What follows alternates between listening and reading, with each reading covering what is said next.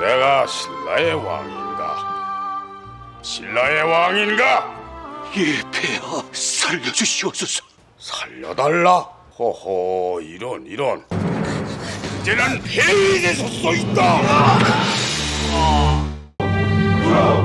아우님 고맙사옵니다 아우님. 어찌하여 이 아우에게 존대를 하시옵니까? 예전처럼 하시옵소서. 뭐야?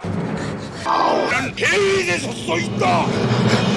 이 무슨 아니돼 아니돼.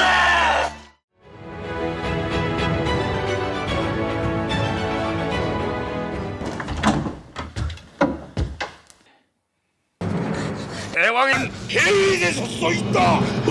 너 제정신이야? 대회를 방해하려는 반동문자다. 어서 끌어내.